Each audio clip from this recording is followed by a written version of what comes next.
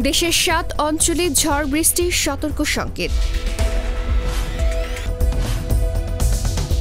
দেশের সাত অঞ্চলের উপর দিয়ে ঘন্টায় সর্বোচ্চ ষাট কিলোমিটার বেগে ঝড়ের পূর্বাভাস দিয়েছে আবহাওয়া অধিদপ্তর। সোমবার তেইশ সেপ্টেম্বর দুপুর একটা পর্যন্ত দেশের অভ্যন্তরীণ নদীবন্দরসমূহের জন্য দেয়া এক পূর্বাভাসে এ তথ্য জানানো হয়েছে। এতে বলা হয়েছে, খুলনা, বরিশাল, পটুয়াখালী, নোয়াখালী, কুমিল্লা, চট্টগ্রাম এবং কক্সবাজার অঞ্চলের উপর দিয়ে দক্ষিণ অথবা দক্ষিণ পূর্ব দিক থেকে ঘন্টায় পঁয়তাল্লিশ থেকে ষাট কিলোমিটার বেগে অস্থায়ীভাবে দমকা বা ঝোড়ো হাওয়া সহ বৃষ্টি অথবা বজ্র বৃষ্টি হতে পারে। এছাড়া পনেরো জেলার নদী বন্দরসমূহকে এক নম্বর সতর্ক সংকেত দেখাতে বলা হয়েছে।